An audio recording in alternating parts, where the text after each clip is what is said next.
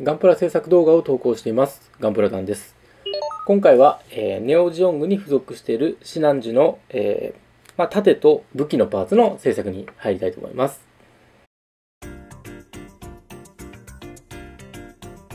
でシナンジュのパーツ、これで、まあ、最後のパーツになります。で、ちょ盾と、あとバズーカーが、えー、2つですね、えー、のこちらパーツになります。で、こちらのパーツの中で、ちょっと塗装しようと思うのが、このバズーカの、えー、この、まあ、方針のところですね。この部分だけを塗装しようと思います。で、塗装するのは、こちらのチタンシルバーですね。えー、チタンシルバーのカラースプレーで、バズーカの方針の部分ですね、えー、塗装したいと思います。あとシールドの、まあ、こちらの部分は、えー、塗装が完了してますので、えー、残りのパーツは、え、墨入れですね。そちらの方から作業入っていきたいと思います。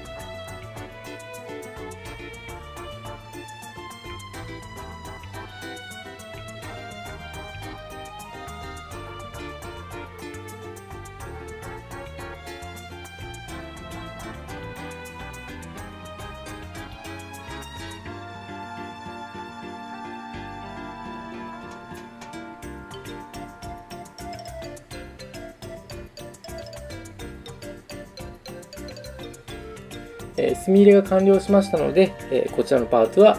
艶消しスプレーをかけていきたいと思います。であとこのマスキングテープを貼ったパーツですね。この部分はチタンシルバーで塗装をしたいと思います。チタンシルバーで塗装した分が乾きました。こんな状態ですね。それではちょっとこの辺のマスキングテープを剥がしていきたいと思います。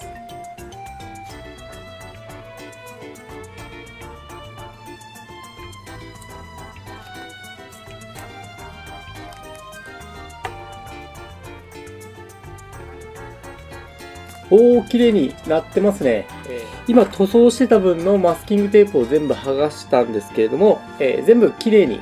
塗装できてますね。えー、なんか変にはみ出たようなところはないです。こんな感じで4本とも、えー、塗装完了しました。結構綺麗にできたと思います。こちらのパーツ、艶消しスプレーが乾きましたので、このウェザリングマスターで着色していきたいと思います。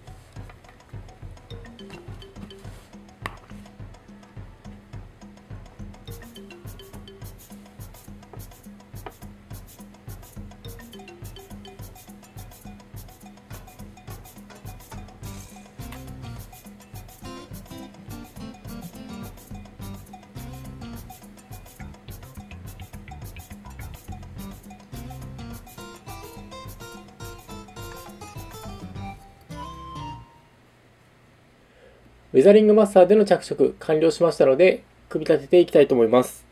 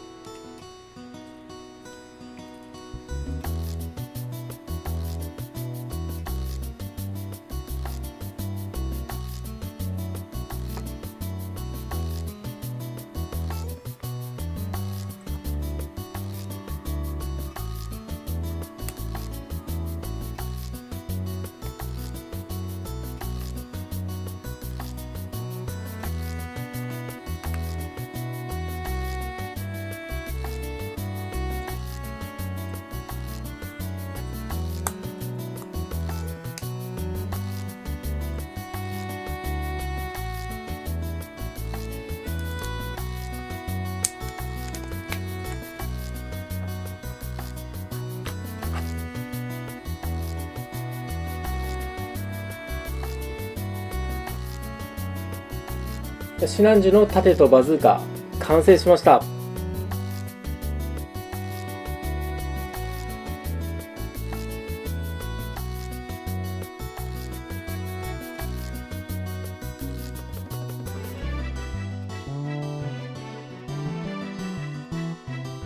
まあ、盾はですねこの部分、まあ、塗装して